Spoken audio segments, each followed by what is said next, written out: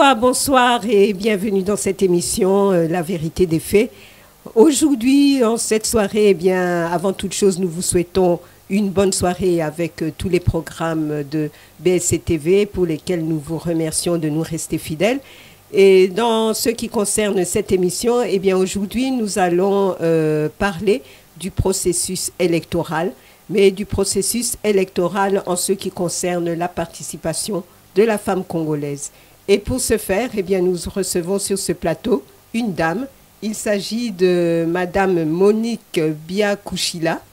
Elle est présidente nationale de ROFED, donc du réseau des organisations féminines pour le développement durable en RDC.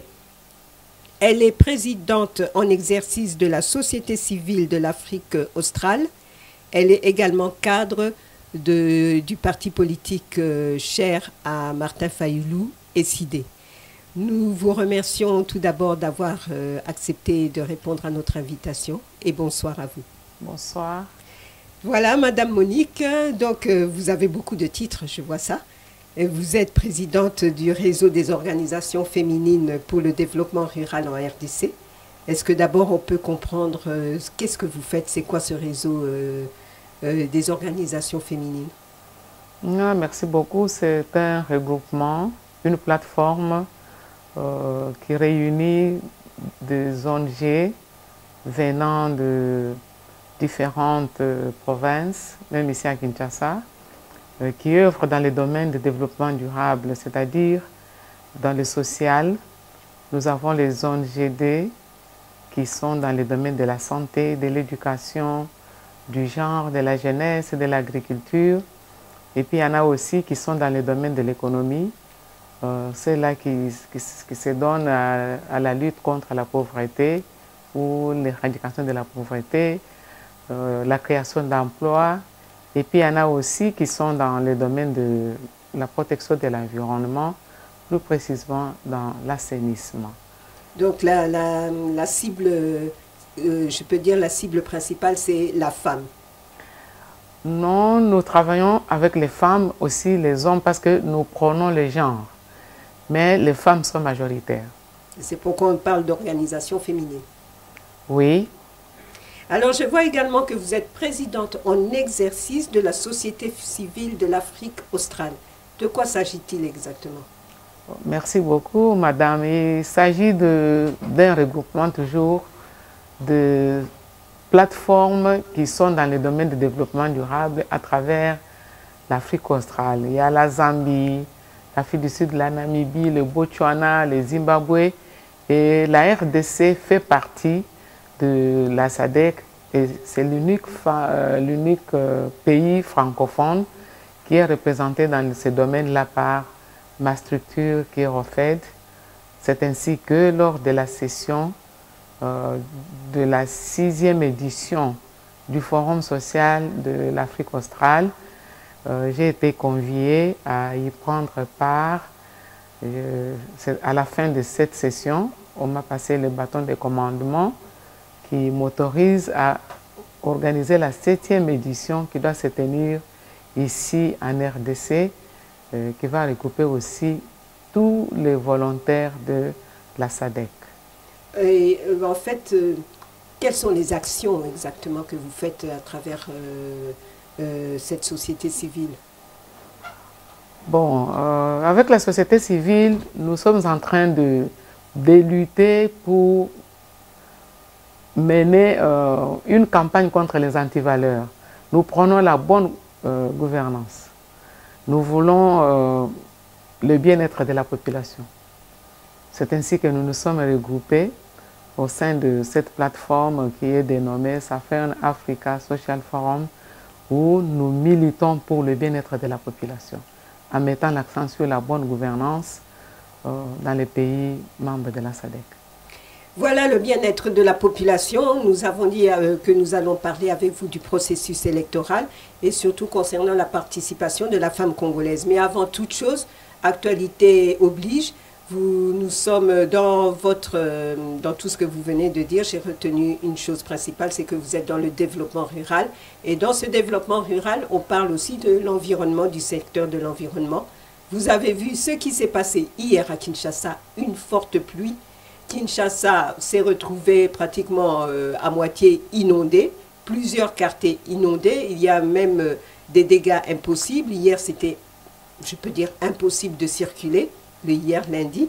Alors, nous aimerions savoir euh, qu'est-ce que vous pensez un peu de, de, de- de cet état des choses à chaque fois qu'il y a une petite pluie à Kinshasa. On, on est là seulement pour pleurer les dégâts. Oh, merci. euh, je reviens au premier point. Ce n'est pas le développement rural, mais c'est plutôt le développement durable. Oui, c'est le développement durable que j'aurais dû dire. D'accord. Euh, face à ce qui s'est passé hier, ce n'est pas seulement hier, madame. Nous sommes en train de vivre le catastrophe chaque jour lorsqu'il pleut. Et cela est dû au manque de la protection de l'environnement.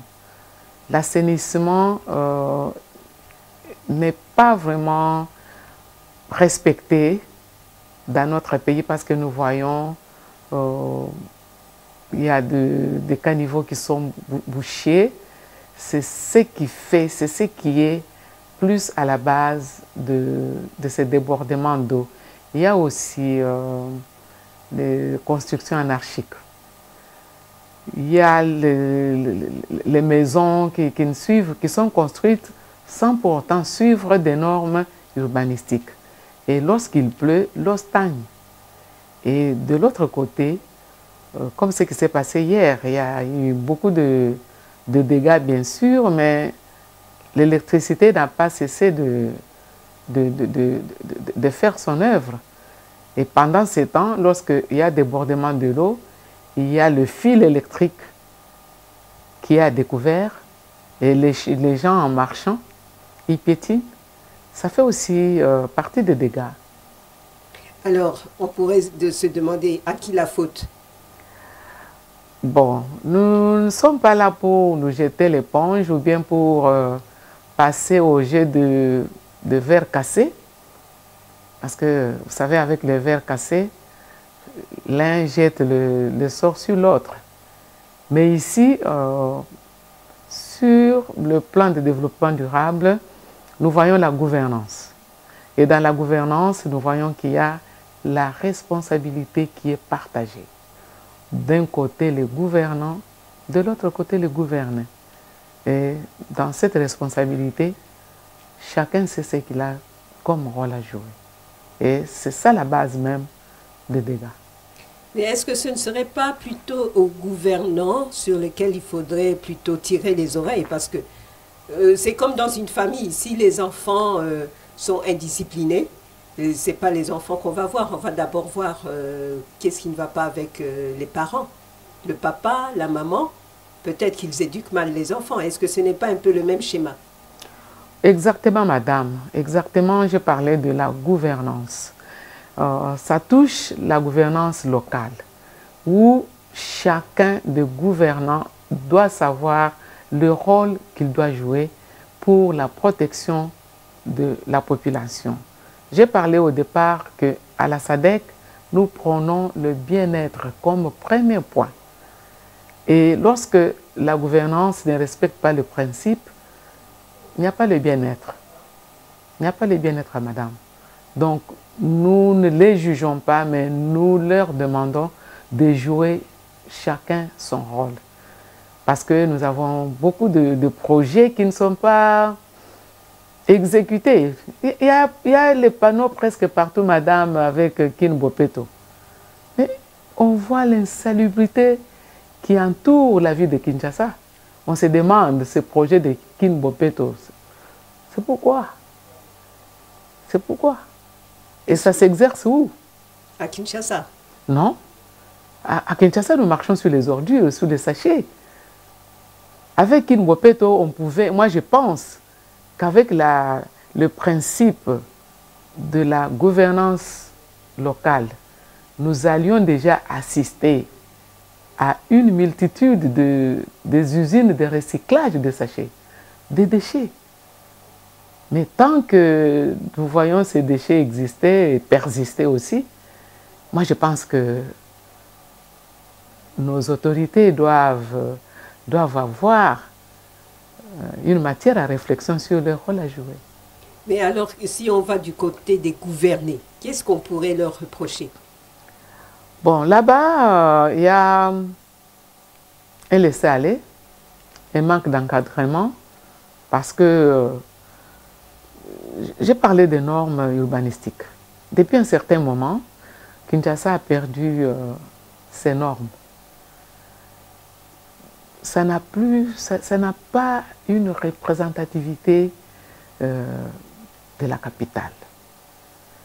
Parce que quand nous voyons ailleurs ce qui se passe dans des capitales et nous comparons notre ville de Kinshasa, parfois on a froid aux yeux. Les gens viennent, chacun vient avec ses manières. Et on jette tout n'importe où. Il n'y a pas un suivi, que ce soit sur l'avenue, que ce soit au niveau du quartier, que ce soit au niveau de, de, la commune. Il y a le chacun pour soi.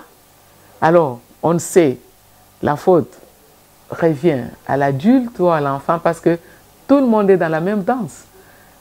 Tout le monde est dans la même danse. On, on, on, on prend les déchets de la parcelle, on jette sur la rue. Et on se demande, il y a un chef de rue, il y a un chef de quartier? Et s'il est là, quel est son rôle? Est-ce que ce n'est pas aussi un problème de conscience? Parce que moi, je peux vous dire, une fois, j'avais été prise à partie dans un taxi parce que j'étais assise à côté d'une d'une élève en, bleu-blanc et elle mangeait, je, crois, des petits biscuits. Elle a pris son sachet, elle a jeté par la fenêtre. Rien que le fait d'avoir euh, d'essayer de conseiller la fillette que non, voilà, prochainement, ne fais plus ça, euh, mets même tes sachets dans ton sac et quand tu arrives à la maison, tu jettes. Mais c'est tout le taxi qui s'en est pris, à moi en me disant Yonde Samboko yo. Est-ce que c'est normal? Oh, Ce n'est pas normal, madame. C'est une euh, c'est un slogan qui est partout. C'est quelque chose que j'appelle euh, le, le cancer du développement. Donc c'est une façon de vous intoxiquer, de vous étouffer pour que vous ne puissiez pas euh, exercer les, normes de, développement afin de pouvoir faire face au changement. Euh, je disais que ce, que ce que vous avez connu, vous n'êtes pas la première, euh, mais nous ne pouvons pas parler d'abord de, de la conscience. La prise de conscience vient à travers la formation, l'encadrement. Est-ce que nous avons des services qui s'occupent de ça? Pour conscientiser les gens Je me souviens, moi, personnellement, quand j'ai grandissé, à l'école primaire, euh, une partie de mon école secondaire, parce que j'ai terminé il y, a, il y, a, 40 ans maintenant. Et on voyait les services d'hygiène qui passaient de parcelle à parcelle. Voir s'il y a une fosse à ordures, voir s'il y a des toilettes impeccables, voir si les murs sont peints de la chaux. Ces services sont partis où? C'est là que les gens prendront conscience lorsque il y a un service de suivi, de formation et d'encadrement. Mais lorsque ce service n'existe pas, chacun se, se comporte comme il veut. Et d'où viendra la conscience, madame? Peut-être euh, à travers des sensibilisations ou bien, euh, je ne sais pas, l'éducation au niveau de l'école peut-être Bon, je ne sais pas, hein, je ne sais pas. J'ai dit, j'ai quitté l'école il y a 40 ans. Donc avec d'autres réalités que celles d'autres Oui, madame, je ne sais pas s'il y a un cours. Parce que nous, nous avons grandi sous le, bon, le programme de l'éducation civique, où on nous apprenait les notions de l'hygiène. Je ne sais pas avec l'actuel euh, programme, je ne sais pas si on a inséré, parce que je me souviens que nous, chaque jour, avant de quitter l'école, on laissait la cour propre. Et lorsque nous sommes à la maison, nous ramenons ce que nos enseignants nous disaient. C'est pourquoi ce, ce qui vous a frappé à interpeller la petite fille à ne pas jeter le sachet, c'est parce que vous avez reçu ça d'abord à l'école et ensuite en famille où c'était en famille et ensuite à l'école. Et c'était ancré en vous. Mais actuellement, est-ce que ce programme est encore à l'école? Je ne sais pas. Je ne sais pas parce que j'ai les mêmes problèmes avec mes enfants. Pour jeter n'importe quoi, n'importe où, l'usage des poubelles n'existe pas. Je ne sais pas. Je ne sais pas. Je, me réserve de dire si euh, à l'école on apprend ça. Je ne sais pas. Mais d'un autre côté, on accuse aussi les, femmes, que ce soit les femmes qui jettent les ordures dehors. Euh, quand elles font euh, leur ménage à la maison, elles prennent tout et toutes les eaux sales, immondices, tout est dehors. Est-ce que vraiment on peut accuser est-ce que la femme a sa part de responsabilité là-dedans? Je dis que c'est tout le monde. Si euh, la femme, c'est dans la gestion des déchets de ménage, mais il y a aussi les hommes qui jettent des sachets, des bouteilles d'eau sur la route. Il y a des jeunes aussi. Ce, n'est pas seulement la femme, c'est tout le monde qui est dans cette danse-là. C'est pourquoi je dis, euh, il faut un encadrement une série de, de, l'éducation civique et morale qui peut ramener euh, les gens à avoir une conscience calme. Parce que lorsqu'on a une conscience calme, on sait même euh, s'intérioriser. Est-ce que ce que je fais ici, est-ce que c'est bon? On peut même aller plus loin. Est-ce que ça, ça plaît à mon Créateur? Parce que lorsque nous revenons à la Bible, après la création, Dieu a déclaré que tout était bon. C'est-à-dire que tout était assaini. Alors si chacun de nous pouvait, en jetant les, ordures, se demander, est-ce que ce que je fais ici, est-ce que c'est bon? Est-ce que ça plaît à Dieu? Est-ce que ça plaît à mon voisin? Ça plaît à... C'est là la vraie conscience. Et s'il n'y en a pas, madame, je pense que nous pouvons dire que c'est la femme qui jette. Il y a aussi les hommes qui préparent. Hein. Dans les malais, on trouve aussi les hommes. Effectivement. Mhm. Voilà, donc euh, quelque part, ça veut dire que chacun doit se regarder dans son miroir. Bien sûr. chacun doit savoir quel est le rôle qu'il doit jouer dans la prise de conscience. Alors nous allons entamer le deuxième point qui est le processus électoral la participation de la femme congolaise. Je pense que d'ici deux mois, ça sera encore une fois la bonne année. On va crier Vive 2023, bonne année 2023, on va se souhaiter les vœux. 2023 pour la RDC marque une année électorale avec les présidentielles, avec euh, les élections euh, locales, les élections au niveau même euh, de la représentation nationale. Mais c'est la quatrième, je pense, ça doit être la quatrième euh, session, mhm. session des élections. Qu'en est-il de la situation de la femme congolaise Depuis 2006, si euh, j'essaye de lire un peu les statistiques, on continue à se plaindre que voilà, la participation de la femme congolaise, elle est encore faible, et c'est toujours les mêmes remarques. La femme n'aime pas voter pour la femme, euh, la femme n'aime pas s'afficher, la femme ceci, la femme cela en tant que femme politique, parce que vous êtes aussi euh, une actrice politique, je le rappelle, vous êtes membre, vous êtes cadre au sein du parti politique de l'ECID, dont le président c'est Martin Fayoulou. D'ailleurs, comment va-t-il avant de continuer? Il va bien, il va bien. Il a un tournée de l'autre côté. Aux États-Unis, je crois. Maintenant, il est en Europe. Ok nous espérons que nous pourrons l'avoir euh, à son retour. Mhm. Mais euh, en, tant que femme euh, politique, quelle observation vous pouvez faire de manière générale d'abord sur justement la participation de la femme congolaise au processus électoral? Et le processus électoral, c'est pas seulement la, participer aux urnes, c'est aussi toute cette préparation là jusque, qui nous amène jusqu'aux élections. Ah, merci beaucoup, merci madame. En termes de développement, je définis la politique comme étant la stratégie de développement pour le bien-être de la population. La stratégie de développement pour le bien-être de la population. Si tous les acteurs politiques retiennent cette définition, je crois que on ne peut pas exclure la femme ou la représentativité de la femme ne peut pas être faible.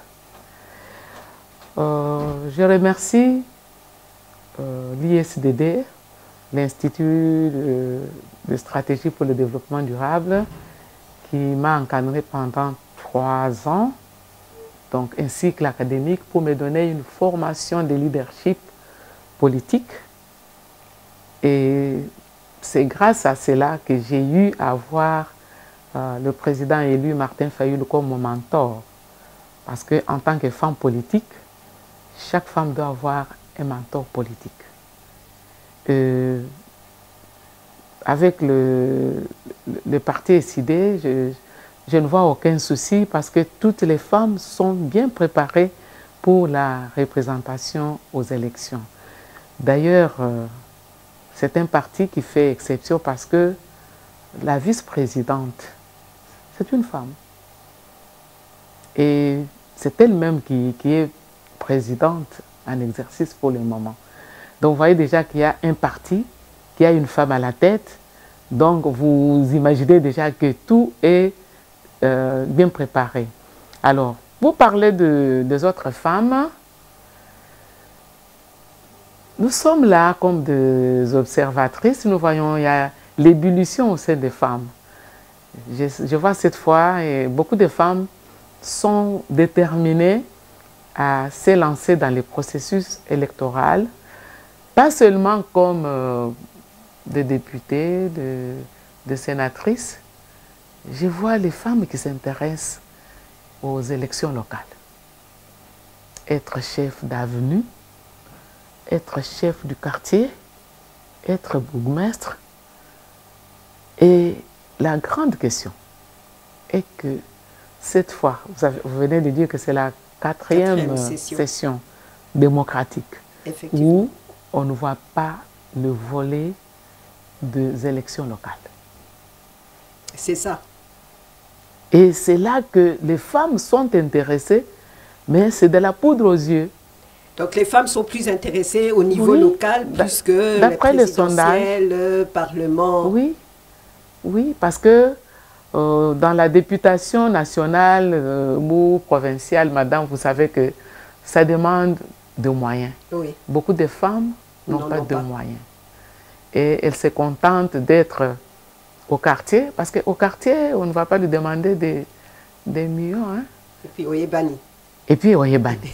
vous comprenez? C'est ça. Alors, et là où les femmes sont intéressées, il y a un blocage. Ah bon?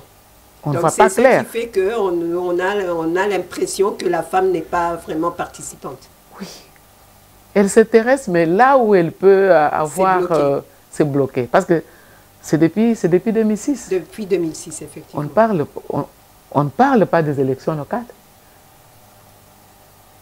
2011, 2018. Et, Et c'est dû à quoi? Est-ce que vous avez une explication à ça? Là, poser la question à l'organe qui est censé être le, le responsable. Moi, je ne sais pas, mais nous, nous militons et nous disons que cette fois, qu'il y ait des organisations locales. Parce que les femmes sont intéressées. Les femmes sont intéressées. Même moi qui vous parle, oui. je suis intéressée aux, Au local. élections locales. Parce que le vrai développement, c'est à la base. Effectivement. Ce n'est pas le sommet. Et lorsque nous négligeons la base, c'est pourquoi vous voyez ce que nous avons décrit au premier point. Les, Les catastrophes, inondations. les inondations. Mais lorsque la politique est bien assimilée à la base, il y a le développement. Donc, euh, je pense que j'encourage les femmes qui sont déterminées à aller au poste de députation, de, de, de, de Sénat, et ainsi de suite. Mais j'encourage aussi celles qui sont engagées dans le domaine du développement local, où nous allons euh, commencer à aménager nos avenues, d'abord nos parcelles, oui. nos avenues, nos quartiers, nos communes. Ainsi, la ville aura au moins un quart de la propreté. Et c'est là qu'on parlera de Boupetou. Effectivement, nous progressons petit à petit vers la fin de cette émission. Mhm. Mais justement, euh, vous venez de faire comprendre que la femme est beaucoup plus intéressée au niveau euh, local. Mais quelque part, qu'en est-il justement euh, de la représentation, pourquoi pas présidentielle? Depuis 2006, nous avons des femmes qui se présentent, mais apparemment, euh, il y a à boire et à manger. oui, oui. La poudre aux yeux. Les femmes sont intéressées, les femmes sont mobilisées, euh, les femmes veulent changer la classe politique. Il y a un slogan, je ne sais pas si ça existe ici chez nous, avec la femme, c'est diriger autrement. Cette euh, question a été plus maîtrisée en Afrique de l'Ouest, au Libéria, avec euh, la présence de Madame euh, Hélène, Johnson. Hélène Johnson. Elle avait commencé à se hein. préparer. Elle avait commencé à se préparer pendant qu'elle avait 17 ans. Elle était professeure à 23 ans. Elle a commencé à intérioriser le slogan Cette fois, une femme. Cette fois, une femme. Cette fois, une femme. Et ce slogan est allé loin. Et il y a eu le, le, passage du, président euh, William euh, Tolbert. Oui. Après Tolbert, il y a eu Samuel Doe, qui a été euh, enchaîné par la rébellion avec... C'est ça. il y a toute une histoire là. Oui, toute une histoire. Et c'est Hélène Johnson qui est venue trancher en coupant la pomme en deux et son rêve s'est réalisé. C'est que moi je pense, nous avons des femmes capables d'être à la présidentielle, mais elles ne sont pas soutenues. Peut-être elles ont l'argent, mais elles n'ont pas la popularité. Ce que nous pouvons demander, que les femmes puissent se mobiliser et qu'on n'y arrive pas par hasard, qu'on prépare la base. C'est ça. Je, viens, je viens d'évoquer le, cas de, de Hélène Johnson. Elle a commencé à 23 ans et elle a eu le pouvoir, je crois, au-delà de 60 ans. Effectivement. On dit le voyage de 1000 km commence par un pas. On ne peut pas se lever un matin comme ça que je vais au, présidentiel. Il faut préparer la base, préparer le moral des femmes, préparer la jeune fille. Et ce sont ces gens-là qui vont soutenir la candidature. Mais dès qu'on se lève un matin comme ça, on postule, il y a tel qui a déjà son neveu, qui a la présidence, qui ne va pas céder, et tel qui a son oncle, tel qui a son mari, tout ça, tout ça. Et le langage de la femme n'aura pas une cohésion. Moi, je demande aux, aux femmes candidates de préparer la base. Prendre même 10 ans.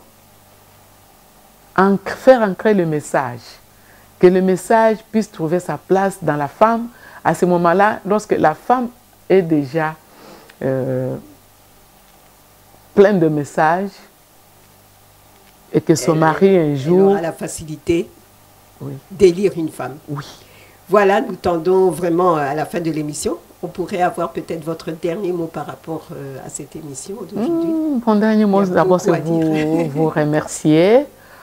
Euh, de cette opportunité et de demander aux femmes d'être la gestionnaire par excellence de notre nation, en commençant par la gestion de déchets de ménage, pour que nous puissions échapper à tous ces désastres et éduquer aussi nos enfants, la jeunesse, qui a besoin d'un encadrement, parce que c'est une jeunesse qui est euh, qui appartient à une génération sacrifiée.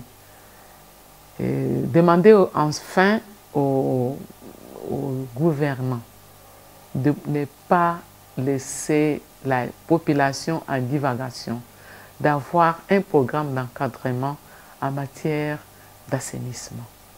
Et en ce qui concerne la vie politique, j'encourage toutes les femmes qui sont candidates aux élections, en commençant par euh, bon parti cher à Martin Fayoulou, toutes les femmes candidates, je leur souhaite euh, un bon succès.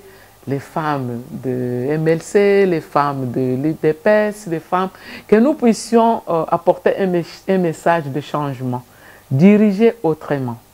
Ne pas être dans le fanatisme, parce que le fanatisme, c'est une antivaleur. Ce n'est pas un mode de gouvernance. et puis ne pas se lancer dans la concurrence des faits.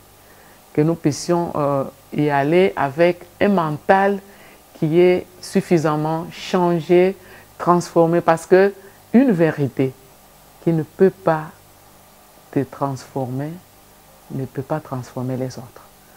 Nous hmm. voulons d'abord être transformés avant de transformer les autres. C'est ça le message que je lance à toutes les femmes candidates à travers toute la République. Voilà, merci beaucoup, Madame. Donc, c'était Madame Monique Bia Kouchila, qui est présidente du réseau des organisations féminines pour le développement rural, euh, durable plutôt en RDC, présidente en exercice de la société civile de l'Afrique australe et cadre de l'ECID, cher à Martha Fayoulou.